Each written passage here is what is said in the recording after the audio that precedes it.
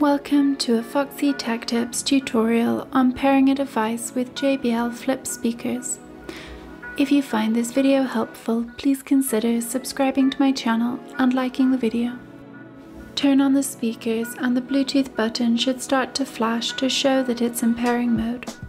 If it doesn't flash, then press the Bluetooth button and it should start flashing.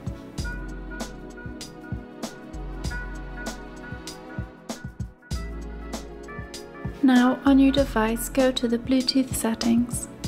They will be in the connection settings of your device. In the Bluetooth settings scroll down to the bottom of the list and tap your speaker's name under available devices.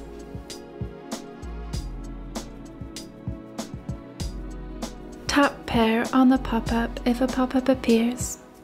Your speaker is now paired to your device and will connect. The Bluetooth button on the speaker will stop flashing and will be a solid light. The next time you want to connect this device to your speaker, you can just turn your speaker on and it should auto connect. If it doesn't, then you can just tap its name here to connect it. And that draws an end to this tutorial. Please like the video if you found it helpful and subscribe to Foxy Tech Tips for more JBL speaker tips and tricks.